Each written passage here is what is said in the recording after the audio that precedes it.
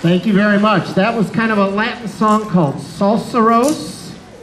And our next song is going to be featuring two of our musicians, two of our trombone players actually. And they're going to come up right up front and play for us. So while they're moving, the song is called Slide and the Family Bones. So it's kind of making fun of trombone players that play with slides. So Slide and the Family Bones. And I told the students I wouldn't introduce them until after the song so they didn't get nervous.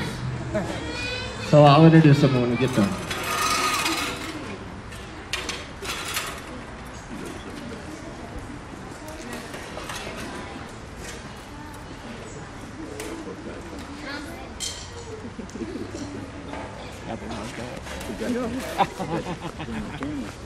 No, I did too.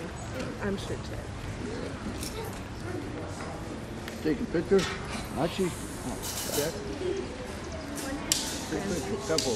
His Bubby got it. We're good.